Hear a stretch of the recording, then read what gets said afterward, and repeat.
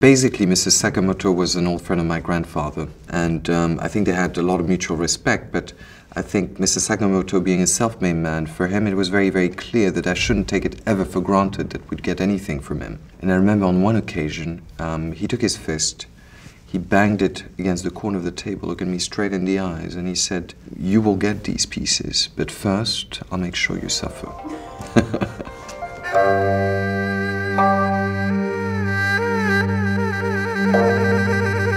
Mr. Sakamoto Goro is one of the most extraordinary people I've ever met. He's um, a sort of diminutive man. He's always beautifully dressed in a fedora, a sort of bow tie, and gloved and with a cane. And he's someone who started from nothing as a sort of dried fish seller in, in a market in Tokyo and has risen to become probably the greatest art dealer in Japan. We knew he'd put away some great objects over the years, and we knew that there was quite a lot that we'd not seen and probably had been accumulated over decades. I spent quite a lot of time visiting him, um, probably four or five times a year.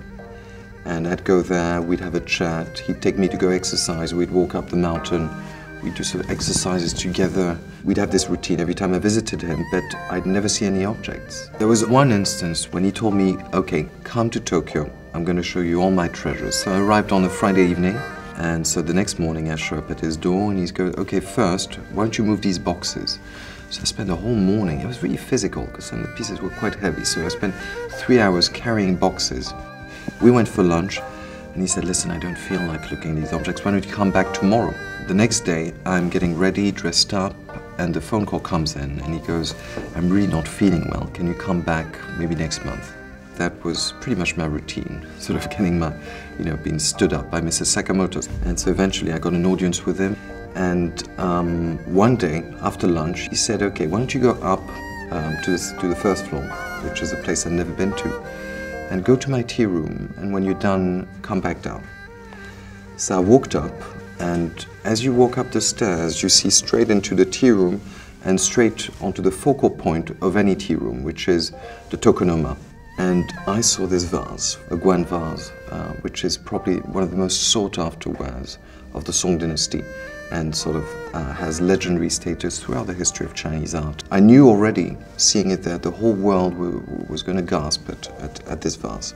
So I approached it very slowly with, um, you know, utmost respect and uh, so I sat down in front of it and admired it for a while. It's a, a sort of mallet-shaped vase, sort of greenish, bluish color, and so suffused with this gold-colored sort of crackle uh, running uh, erratically all over the surface.